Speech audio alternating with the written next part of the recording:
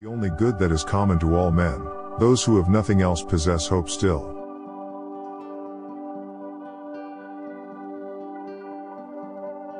All things are full of gods.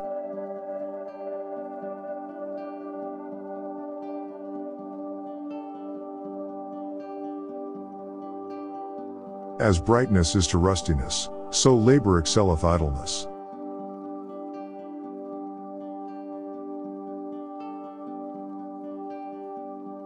All the assistance that you give to your parents, the same you have a right to expect from your children.